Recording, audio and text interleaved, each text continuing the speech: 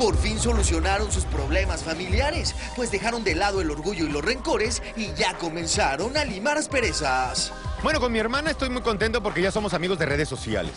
Ya nos damos like en las fotos y ya nos hablamos por WhatsApp. Así que lo que falta es realmente nada. Si me preguntan qué vamos a hacer para rescatar tantos años, más de 20 años, pues no se va a rescatar nada. Ahora nos toca trabajar de aquí a un futuro, nada más.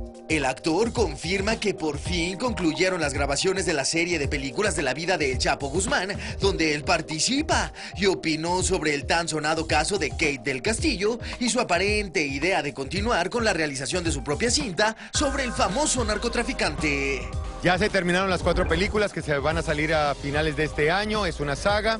Eh, fui el secretario de Gobernación, al final, bueno, si lo voy a contar, me asesinaron. Hay una propuesta, es algo de ficción, pero le cambiaron el nombre, ya no se llama El Chapo, ahora se llama El Capo, aunque la línea es la misma. Sobre la película que pensaba o que aún piensa hacer Kate del Castillo, ¿cuál es tu opinión y tu opinión sobre la situación que vive ella?